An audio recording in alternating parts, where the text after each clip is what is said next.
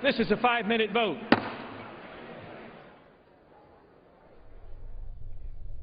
It's the second of three votes. This bill would direct regulators to issue rules regarding swap transactions between the U.S. and foreign entities. Five-minute vote. One more five-minute vote will follow, and then general debate on the fiscal year 2014 defense authorization bill.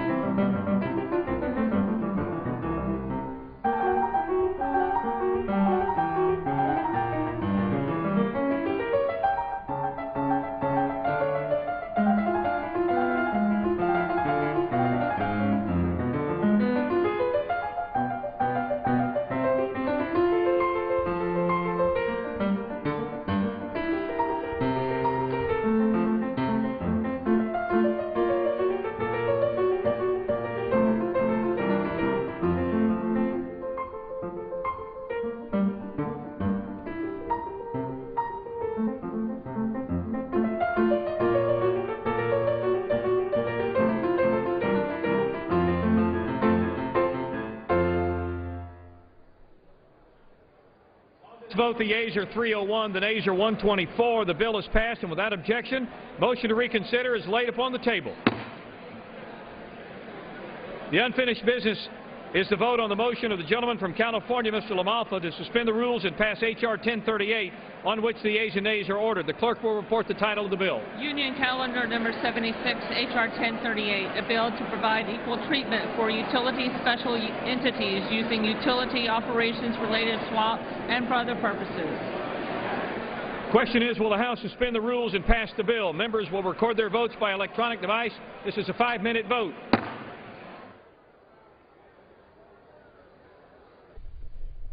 The final vote in this series on a bill debated earlier and had an hour of general debate on the 2014 Defense Authorization Bill, the bill that sets Pentagon programs and policies for the next year. And for a preview of that debate, we spoke earlier to a Capitol Hill reporter.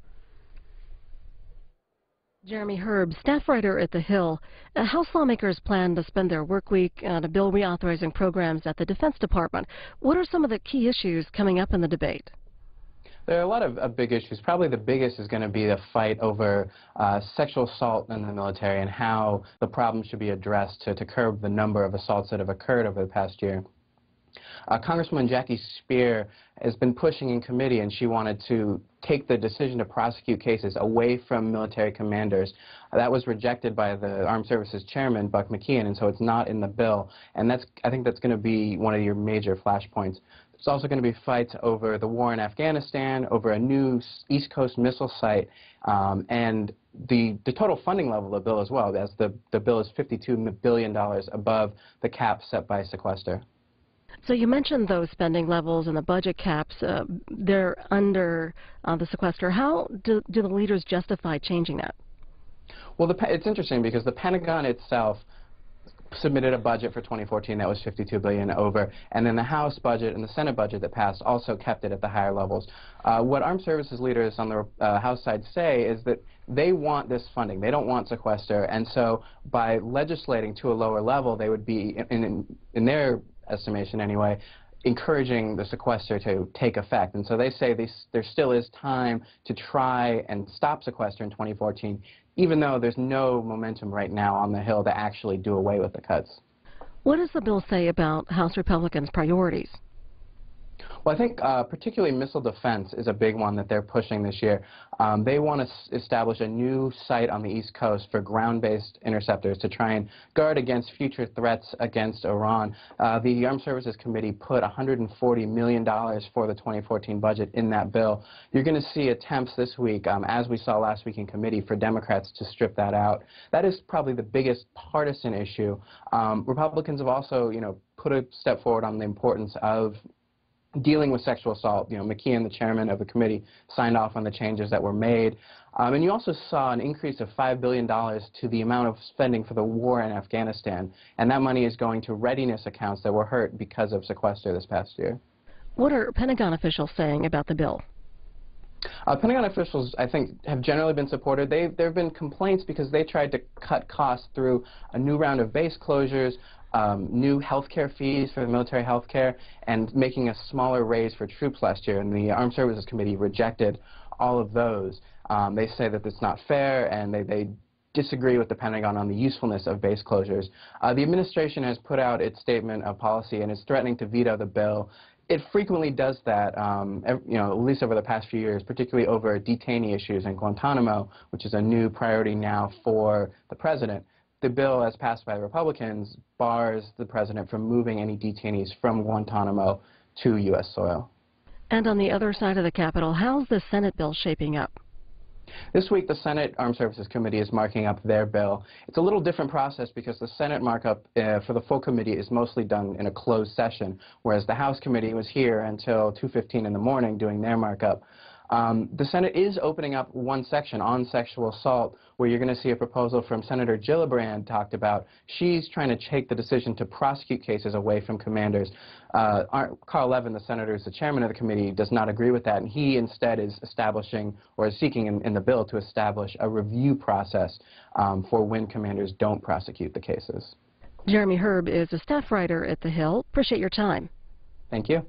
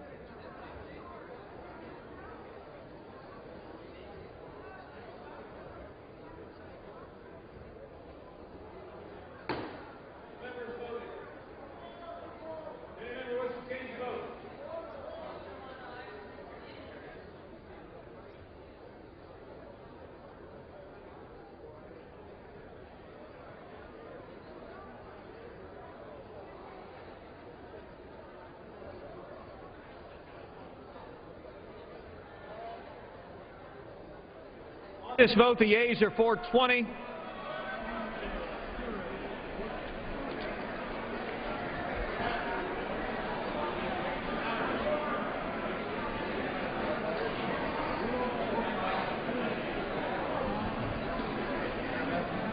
Ms. Gabbard. Ms. Gabbard votes aye. Mr. Benishek. Mr. Benishek votes aye. Mr. Woodall. Mr. Woodall votes aye.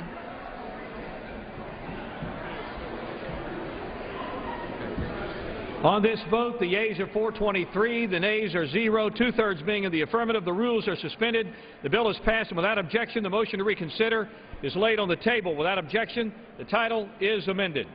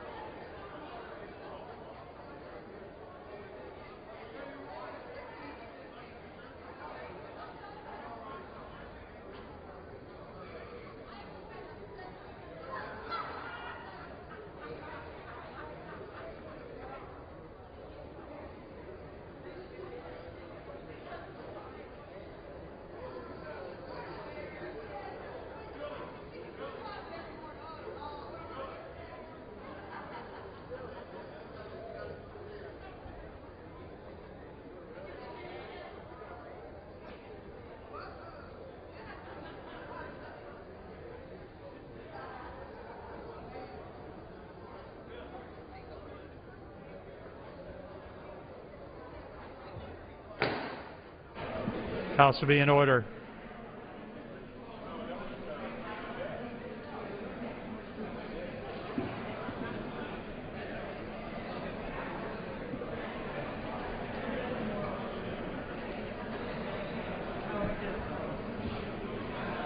If you have conversations, take them outside of the chamber.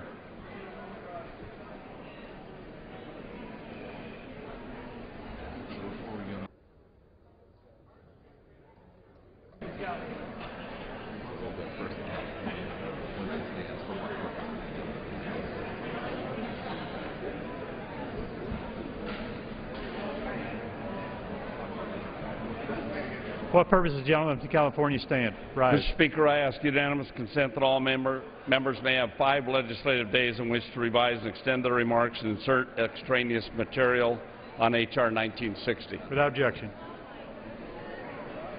Pursuant to House Resolution 256 and Rule 18, the Chair declares the House and the Committee of the Whole of the State of the Union for consideration of H.R. 1960. The Chair appoints the gentleman from Arkansas, Mr. Womack, to preside over the Committee of the Whole.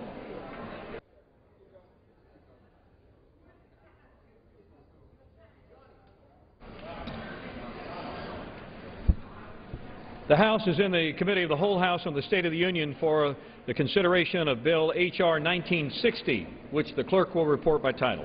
A bill to authorize appropriations for- fiscal year 2014 for military activities of the Department of Defense and for military construction, to prescribe military personnel strengths for such fiscal year and for other purposes. Pursuant to the rule, the bill is considered read the first time. The gentleman from California, Mr. McKeon, and the gentleman from Washington, Mr. Smith, each will control 30 minutes.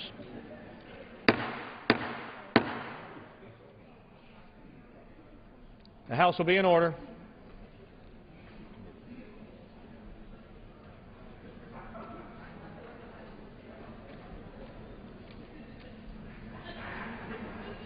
Members are asked to uh, take their conversations from the floor.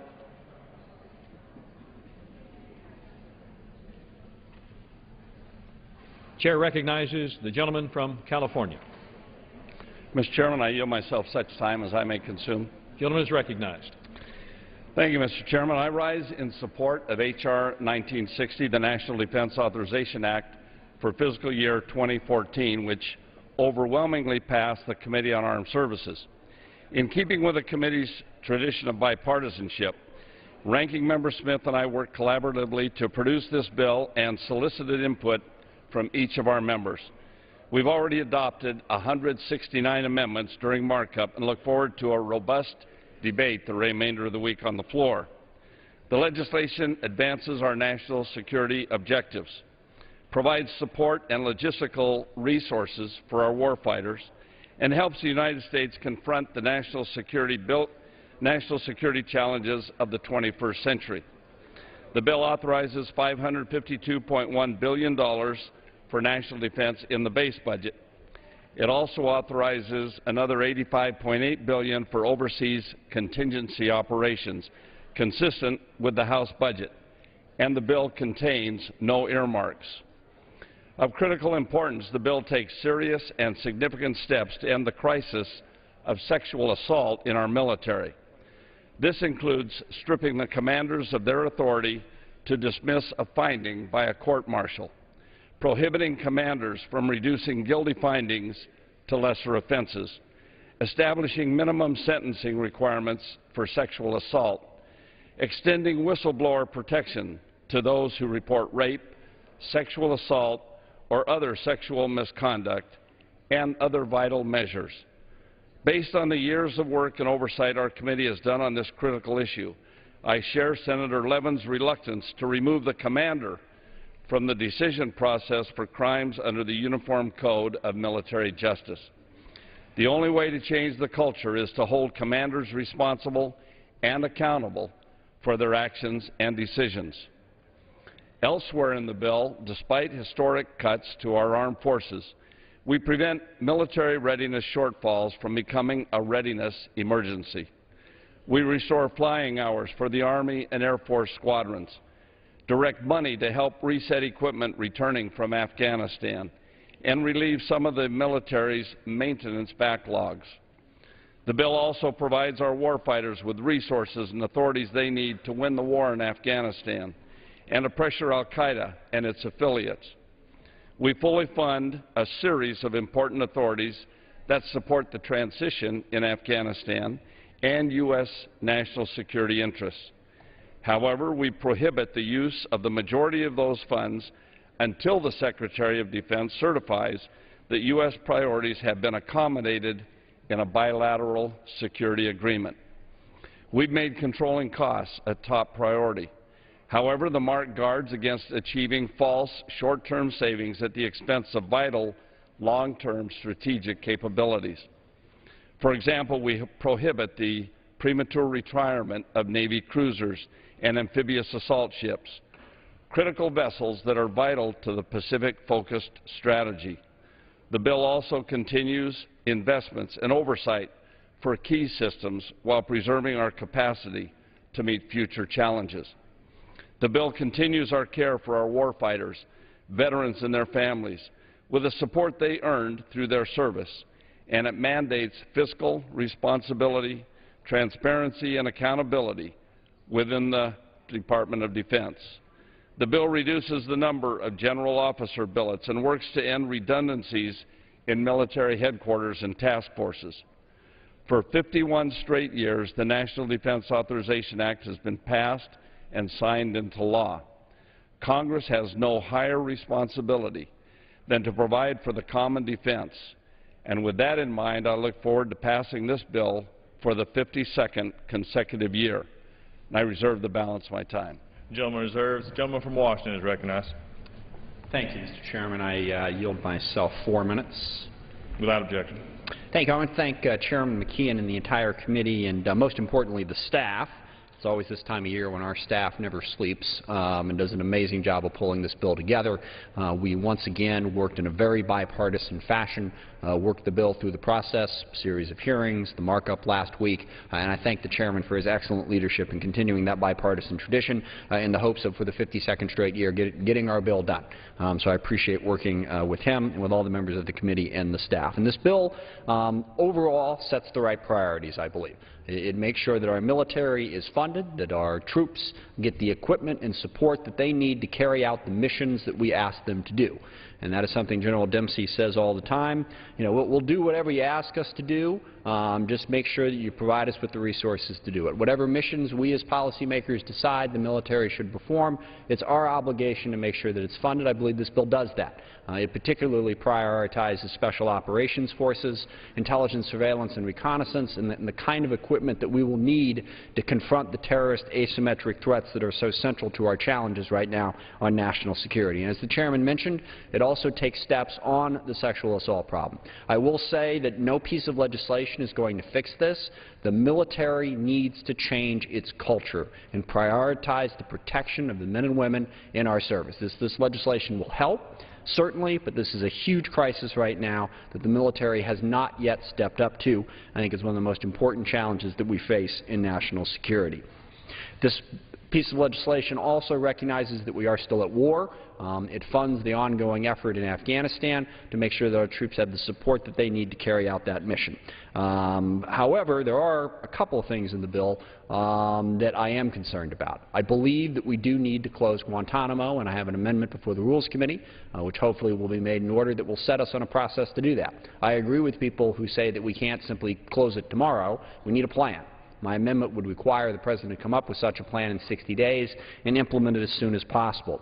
I continue to be concerned that the President has the power to indefinitely detain any person uh, captured in the United States who is designated to be an enemy combatant.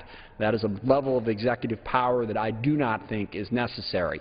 Um, and as we have seen in recent weeks, people are growing concerned about the amount of power the executive branch has.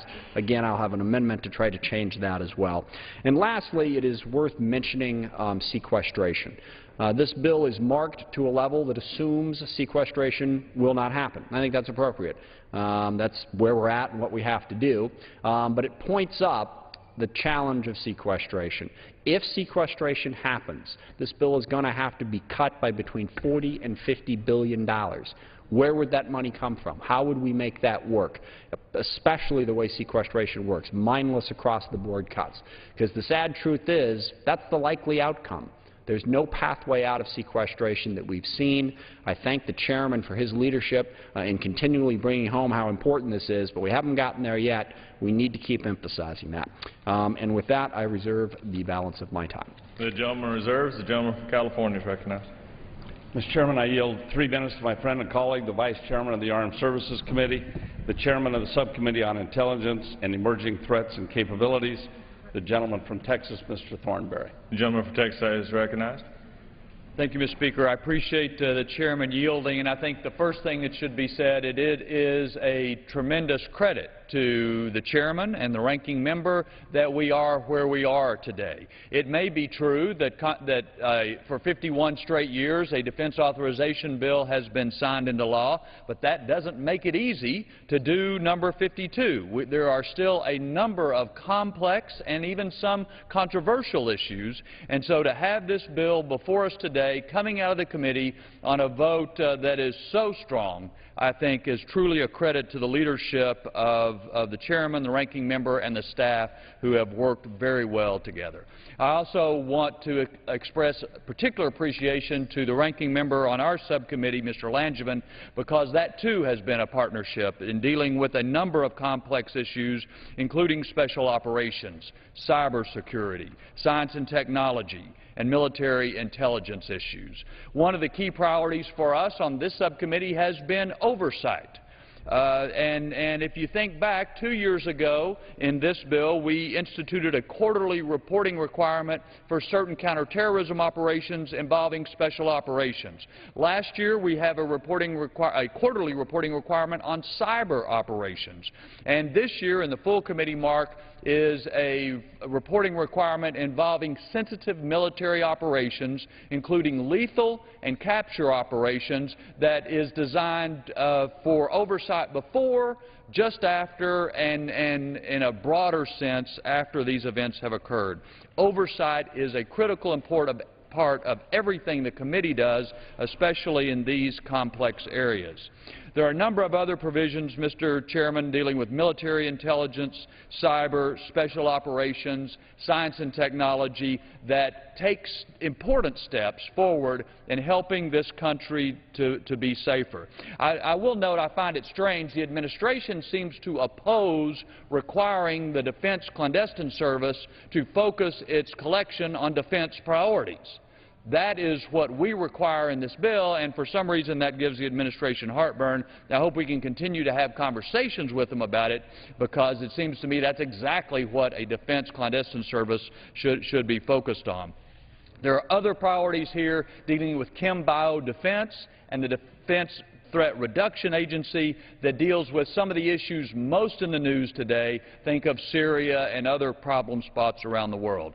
The key point, Mr. Chairman, is it's taken a lot of work to get to this point. We have a lot of amendment debate to come, but it is truly a credit to the staff, to the chairman, to the ranking member of this committee that something so important, so complex, has come to the, to the floor with such overwhelming bipartisan support. We'll have differences, but I hope and trust that it will leave the floor in the same way. I yield back. That's right. The gentleman yields back. The gentleman from California Reserve. The gentleman from Washington is recognized. Thank you, Mr. Chairman. I yield two and a half minutes uh, to the gentlelady from California, the ranking member on the Airland Subcommittee, Ms. Sanchez. The gentleman from California is recognized for two and a half minutes. Thank you, Mr. Chairman. I want to um, first begin by complimenting the chairman of the Tactical Air and Land Forces, uh, Chairman Mike Turner. He has uh, really been a delight to work with and uh, his steady and thoughtful leadership has really allowed us to, I believe, make a good mark in this bill. Under his leadership, the Tactical Air and Land Forces Subcommittee worked in a very bipartisan fashion, and uh, we developed a set of oversight legislation and funding recommendations that I think um, really looks at cutting waste, shaping programs, and making sure that our men and women in our military are ready to go. First, the subcommittee's portion of H.R. 1960 supports many of the high-priority recommendations and desires of the President's budget. HR, for example, H.R. 1960 provides 8.1 billion for the F-35 uh, Joint Strike Fighter program, 5.2 billion for Army aviation upgrades, 3.2 billion for 21 EA-18Gs and F-18 upgrades, 1.4 billion for the V-22, and 1.3 billion for the U.S. Marine Corps ground equipment. In addition, the Armed Services Committee increased funding in some parts of the DoD uh, budget that came from the President um, where we felt that there were inadequate funds. Specifically, the bill provides an additional $400 million for the National Guard and Reserve Equipment account and adds funding for an additional F-100 engines by $165 million, increases advanced procurement funding for 29 Navy F-18 aircraft by 75 million. Beyond these funding increases, I want to point out that we made reductions over $463 million worth of reductions in this funding bill. And it's never easy to reduce or to cut programs, but I think we did a very good job in making sure that as we move forward, we will have the systems that we need. And finally, H.R. 1960 includes important oversight legislation especially for the F-35 Joint Strike Fighter, for the Ground Combat Vehicle, for the individual carbine, the Stryker vehicle, and for body armor for our men and women of our military. All of these provisions are good government, and I look forward to voting for this bill, Mr. Chairman. Time has expired. The gentleman from Washington Reserve, gentleman from California is recognized. Mr. Chairman, I yield three minutes to my friend and colleague, the chairman of the Subcommittee on Readiness, the gentleman from Virginia, Mr. Wittman. The gentleman from Virginia is recognized for three minutes. Thank you, Mr. Chairman. I'd like to begin by thanking Chairman McKeon for his leadership, for Ranking Member Smith for the extraordinary job that both of you gentlemen have done in bringing this bill together, bringing people together to make this happen. I also want to thank the Ranking Member of the Readiness Subcommittee, uh, Madeleine Bordallo. Thank you so much for your leadership and for your cooperation to make our effort on the Readiness Subcommittee as successful as it was. Today I rise in strong support of H.R. 1960, the fiscal year 2014 National Defense Authorization Act. While this bill will not fix all of the nation's readiness challenges, it does go far in addressing depleted force readiness levels and associated levels of assumed risk. Specifically, the bill prohibits the Department from proposing, planning, or initiating another round of base realignment and closure Commission elements. A measure that's critical in my view, given the fiscal uncertainties we face as a nation. This bill helps our military members by restoring vital readiness accounts such as the Army and Air Force flying programs, increasing funding for facilities sustainment, increasing funding for Army depot maintenance and rest, increasing funding for ship depot maintenance, and prohibiting the retirement of amphibs and cruisers the Navy proposed to retire 10 to 15 years early. With successive rounds of budget cuts and the disastrous effects of sequestration, readiness rates remain at historic levels, and these levels are unacceptably low. And our warfighters are at risk, and we owe it to them to make sure that we put dollars back to make sure that readiness of our armed forces does not in any way suffer. We want to make sure that our men and women have what they need, making sure they continue to have overwhelming superiority on the battlefield. That's what this nation has always done. It's our obligation to make sure that that continues. While we've restored the Air Force and Army flying hours programs and bolstered facility sustainment and depot maintenance, we will need to remain focused on readiness challenges in the months and years to come, and those readiness challenges will continue especially as we retrograde from Afghanistan and reset our force, we cannot forget the need to maintain readiness. As I close, Mr. Chairman, I want to thank the members of the subcommittee and the staff for their unyielding support for the men and women of our military. Our nation faces many challenges, as this bill makes clear. And I want to remind this chamber that we owe a debt of gratitude to those who selflessly serve our nation those who volunteer to put themselves in harm's way. That's what makes our nation great. We owe them the highest amount of respect in getting this bill done in their best interest. And again, with that, Mr. Chairman, I yield back. Gentleman yields back. Gentleman from California reserves. Gentleman from Washington is recognized. Uh, thank you, Mr. Chairman. I yield uh, three minutes to the gentleman from North Carolina, the ranking member on the Sea Power Subcommittee, Mr. McIntyre. The gentleman from North Carolina is recognized for three minutes. Mr. Speaker, I rise in support of the National Defense Authorization Bill, which the Armed Services Committee passed last week with overwhelming support, and thank my colleagues, Chairman McKeon and Ranking Member Smith, for their hard work in making sure this bipartisan measure would be done the right way and to help our men and women in uniform. Specifically, I'm pleased that this bill strengthens our national defense, supports North Carolina military bases with a $355 million investment in military construction, and makes key investments across the nation to help make sure that our servicemen and women have the tools they need to do their job. This measure authorized 552 billion for national defense spending and $885.8 billion for overseas contingency operations. It also, in supporting current law, which mandates an automatic 1.8 percent annual increase in troop pay and rejects proposals to increase some TRICARE fees or establish new TRICARE fees, which many service members and veterans have long been concerned about. I'm also pleased this committee made sexual assault prevention and prosecution a cornerstone of this legislation, and I'm particularly pleased that this bill includes an amendment authored by my good friend and colleague across the aisle, Representative Walter Jones, a fellow North Carolinian, to protect the religious freedom of military chaplains to be able to close a prayer according to the dictates of their conscience and faith and training. The committee also included an important provision that Representative Jones and I both worked together on to require periodic audits of Berry Amendment contracting compliance by the DoD Inspector General. And I can tell you, as ranking member of the Sea Power and Projection Forces Subcommittee, I would like to thank my colleague, Chairman Randy Forbes, for his work on our section of this bill.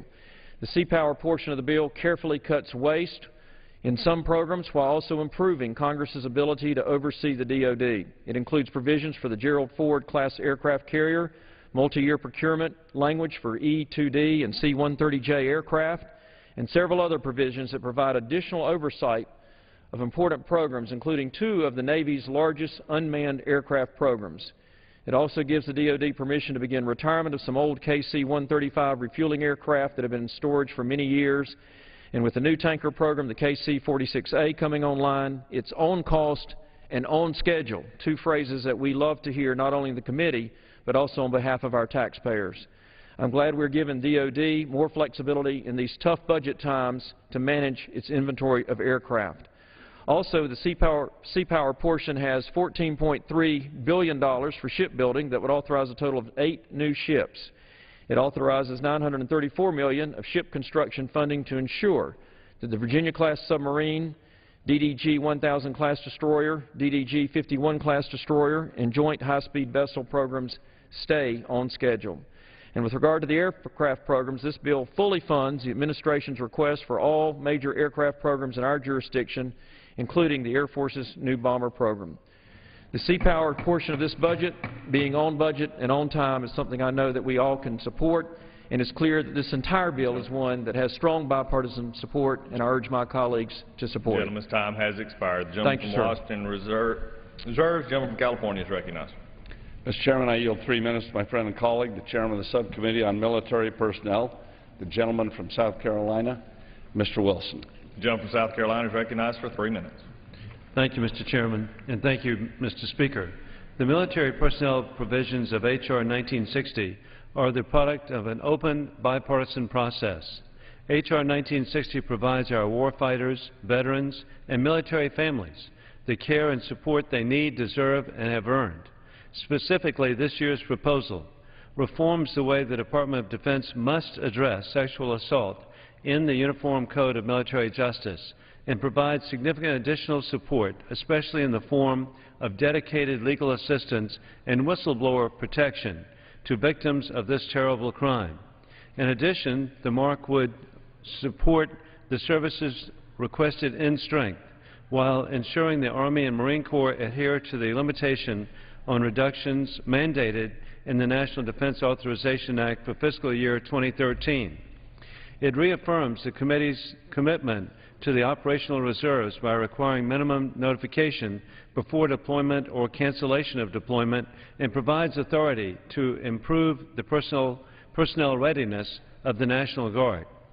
This also requires the Secretary of Defense to review and make improvements to the integrated disability evaluation system for members of the reserve components, and further authorizes transitional compensation and other benefits for dependents of a service member who is separated from the armed forces because of a court-martial and forfeits all pay and benefits. This does not include the request for military retirees to pay more for health care. In conclusion, I want to thank Ms. Davis and her staff for their contributions in support of this process. I particularly appreciate the active, informed, and dedicated subcommittee members supported by the professional staff. Their recommendations and priorities are clearly reflected in the Defense Authorization Act for fiscal year 2014. I urge all my colleagues to support this bill. I yield back my time. The gentleman yields back. The gentleman from California Reserve, the gentleman from Washington is recognized. Thank you, Mr. Chairman. I yield three minutes uh, to the gentlewoman from California, Ms. Davis, the ranking member of the Personnel Subcommittee. The gentlewoman from California is recognized for three Thank minutes. you. Thank you, Mr. Speaker. I want to thank my colleagues on the committee for working together to bring forward a good bill. My thanks, of course, to Chairman Wilson and the committee staff for working in a bipartisan manner. The bill contains a multitude of provisions to address the issue of sexual assault. And while it may seem that this year Congress focused on sexual assault in the military, the reality is that this committee and its members have been working hard to address this issue that demands our attention for the last several years. And this committee has once again put forward a number of proposals. But as much as we would wish that legislation alone will not stop someone from committing a sexual act, we know that is not the case. It will not stop either the fear of retaliation, which prevents a number of service members from reporting a sexual assault. This problem and how we deal with it has to start and end with those who wear the uniform. But it is important that we provide them the tools they need to effectively change the system and ultimately the culture by holding perpetrators accountable and commanders and prosecutors to the highest standard, whether through bystander intervention, command climates that do not tolerate or condone sexual harassment and innuendo, and appropriate prosecutions and command actions, our service members are ultimately the change agents that need to step forward.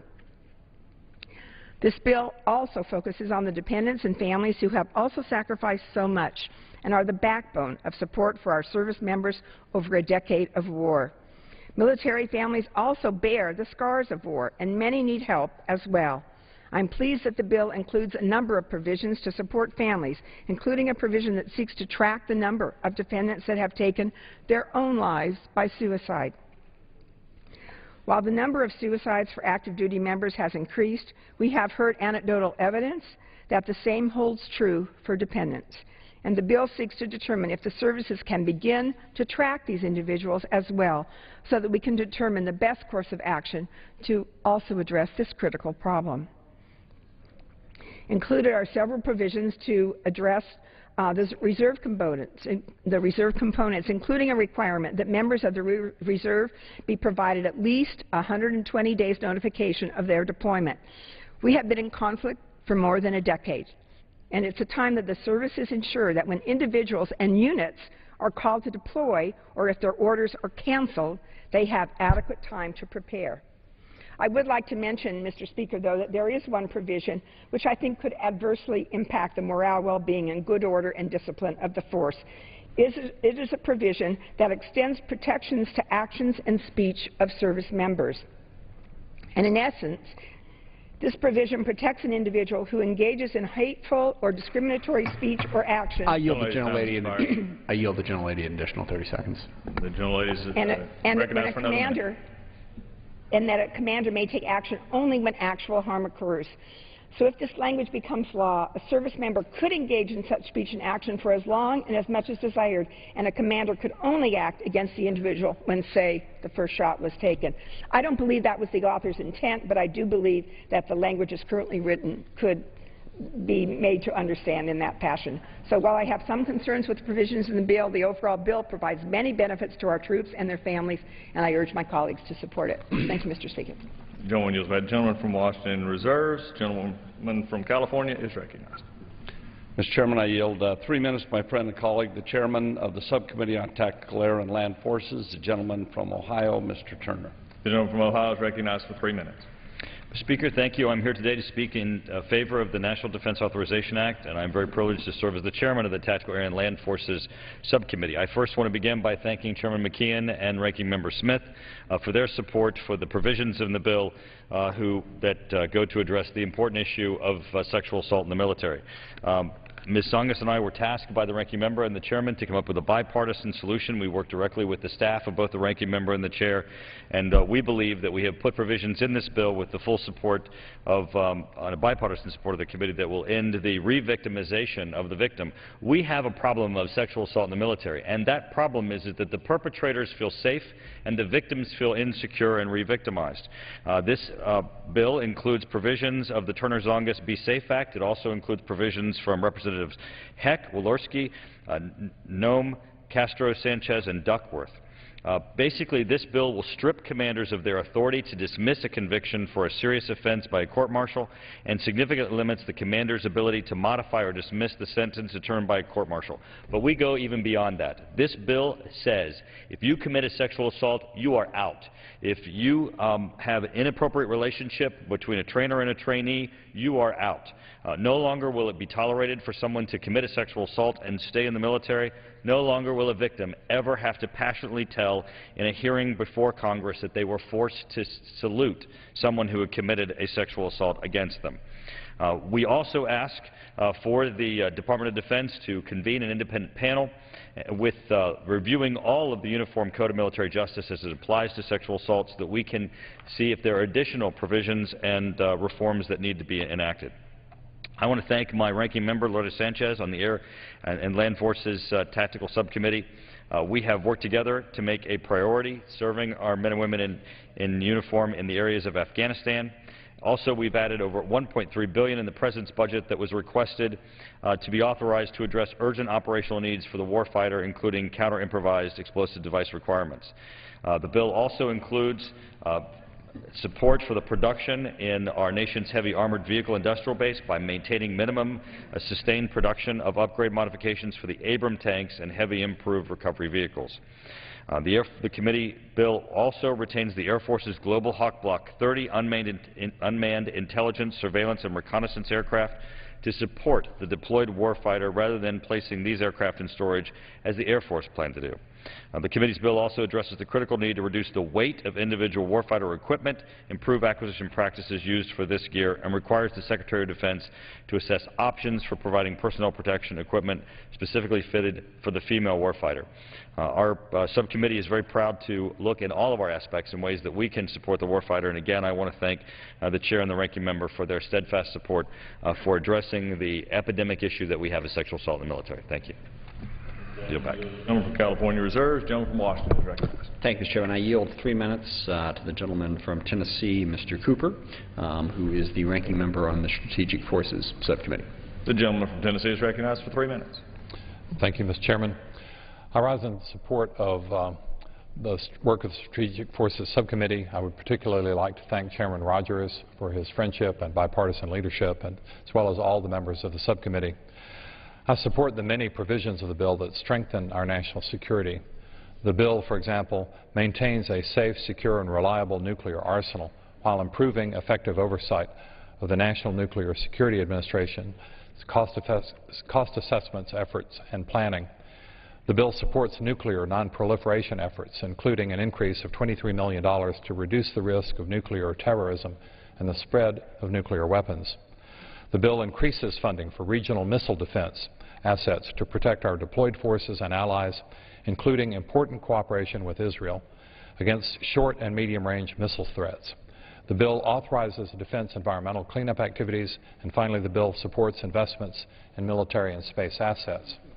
However, I also should report that I do have reservations about several provisions of the bill that, I, in my opinion, undermine national security and waste taxpayer dollars. For example, the bill blocks prudent nuclear weapons reductions, including New START reductions, which would strengthen st strategic stability. The bill increases funding for nuclear weapons by $220 million over the President's already generous budget request.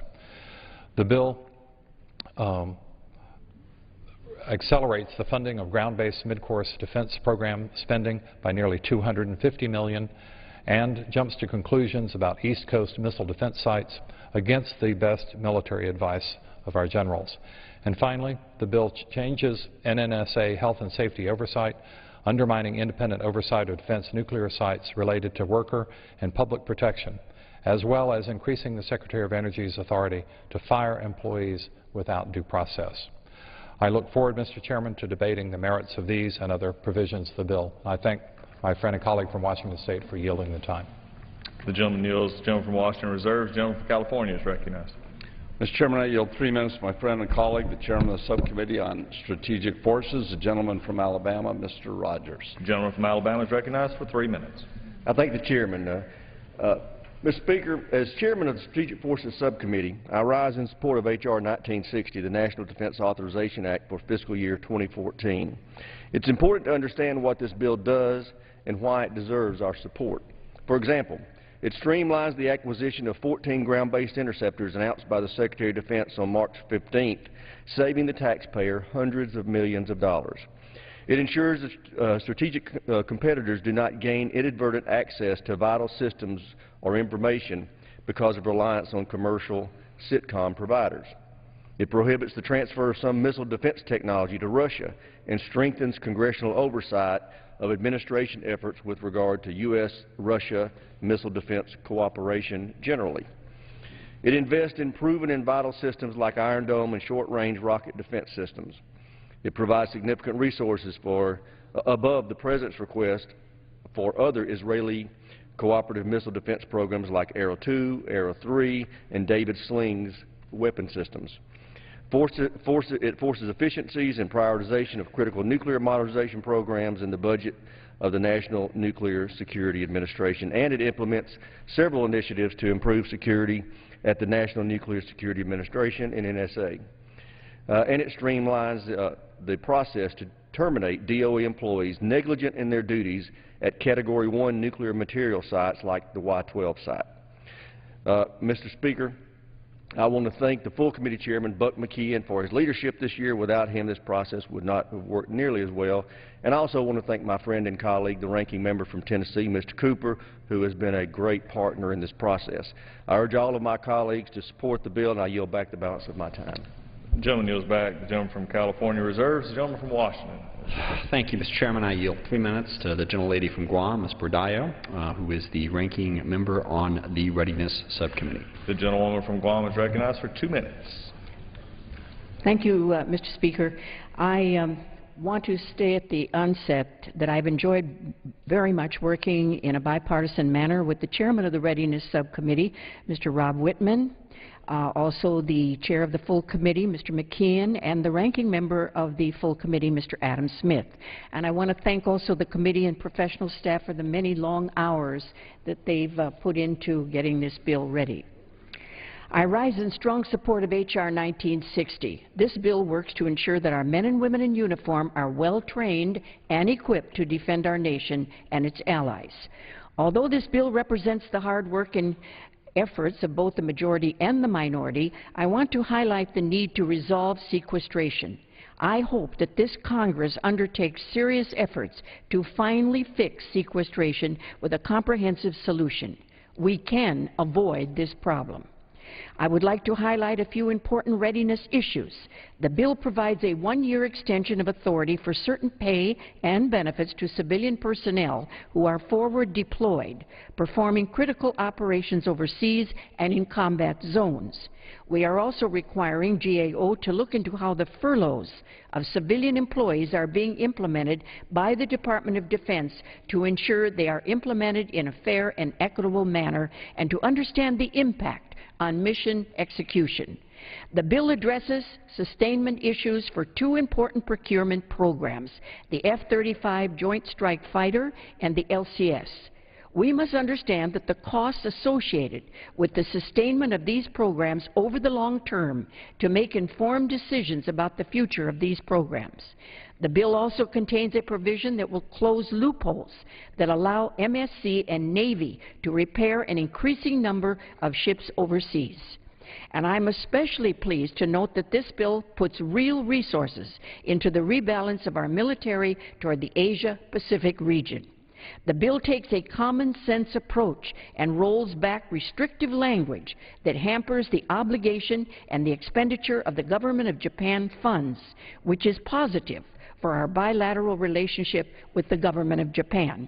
The bill conti continues the House's consistent position of support the realignment of forces in this region. We also an additional minute. Gentleman is recognized for an additional minute. Thank you, Mr. Chairman. We also provide funding for the LSC, continued development of the next generation long-range strike bomber, and robust procurement of Virginia-class submarines all assets that are important to our rebalance to the Asia-Pacific region. However, I am concerned about Section 233 in the underlying bill. I appreciate the intent of this provision. We do need to ensure the defense of our allies in East Asia. Yet this provision unduly restricts our combatant commanders from providing support to emerging threats or supporting other allies in other areas. The provision is unnecessary and it impacts our military readiness and I hope that the Rules Committee will make my amendment in order to improve the provision. And again, I thank my colleagues and I urge all my colleagues to support this vitally important bill. And I yield back. The gentlewoman yields back. The gentleman from Washington reserves. Gentleman from California is recognized. Mr. Chairman, I yield three minutes to my friend and colleague, the chairman of the Subcommittee on Sea Power and Protection Forces, the gentleman from Virginia, Mr. Forbes. The gentleman from Virginia is recognized for three minutes. Thank you, Mr. Chairman. Mr. Chairman, I rise in support of the National Defense Authorization Act for fiscal year 2014. With Chairman McKeon's and Ranking Member Smith's leadership, I believe that this bill provides the right authorities and sufficient resources to demonstrate our resounding and unequivocal support for the men and women who place their service to country above all things. I think we could all learn from their service and devotion. As to the Sea Power and Projection Forces Subcommittee, Mark, I continue to be concerned about both the size and composition of our Navy's fleet. In the 30-year shipbuilding plan, the administration has indicated a requirement of 306 ships. The 2010 QDR independent panel indicated a requirement of 346 ships. Unfortunately, the Navy has proposed a reduction of the fleet to 270 ships in just the next year. Various outside experts have indicated that if we continue to support our current level of shipbuilding investments, the fleet could be reduced further to just 240 ships. This path is simply unacceptable. Given the budget cuts of the past four years, which I opposed, I think this bill does a good job of reversing some of these negative trends and takes a step in the right direction by authorizing eight combat ships and ensuring that we retain and modernize our current fleet to the end of their service life. I remain very pleased with the direction of our projection forces. This bill provides strategic Air Force investments in terms of both the KC-46A tanker program and the long-range Striker bomber. These are critical capabilities that need to be nurtured carefully. This mark also includes important cost-saving initiatives that provide the Navy and Air Force with the ability to procure E-2D Hawkeye and C-130J Super Hercules aircraft using multi-year procurement authority. These legislative provisions alone are projected to save taxpayers over $1 billion. As I look to the future, I believe that it's essential to ensure strategy drives our debate. Mr. Chairman, I hope that uh, we've gone a long ways to reverse some of these negative trends. I think this bill does a good job of supporting our forces, and I would urge my colleagues to support this bill. I thank my colleague and friend Mike McIntyre, my ranking member, and our hardworking staff for their efforts in producing this bill. And with that, Mr. Chairman, I yield back. The gentleman yields back. The gentleman from California reserves. The gentleman from Washington is recognized. Could could you, uh, Mr. Chairman, please let us know how much time is left? Okay. The gentleman from Washington has 12 and a half minutes. The gentleman from California has 11. Uh, thank you, Mr. Chairman. With that, I yield three minutes to the gentlelady from Massachusetts, uh, Ms. Tsongas, who's the ranking member on the Oversight and Investigation Committee and also has done uh, fabulous work on the uh, sexual assault legislation contained in this bill. The gentlelady from Massachusetts recognized for three minutes. Uh, thank you, Mr. Speaker. Uh,